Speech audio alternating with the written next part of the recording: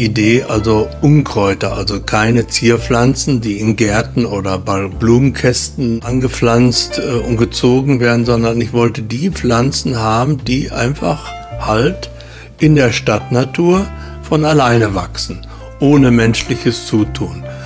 Und na, die sind nun mal unscheinbar. Also äh, für mich nicht so, vielleicht für den außenstehenden Betrachter, aber für mich ist jede Pflanze schön und das offenbart sich dann beim Malen.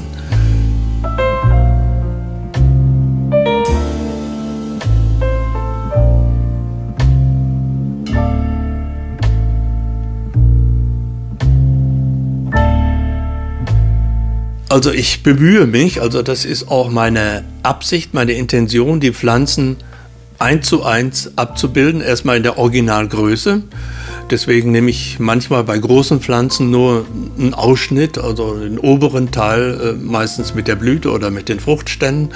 Äh, wenn die Pflanzen kleiner sind, kommt die ganze Pflanze mit Wurzelstock äh, aufs Papier und ich versuche auch ganz nüchtern dabei zu bleiben. Also da auch nichts hinzuzudichten oder die Pflanze irgendwie zu verändern, dass sie künstlerisch besser ins Bild passt. Das interessiert mich weniger, sondern ich will sie fast fotografisch äh, abbilden, so wie das Modell vor mir steht.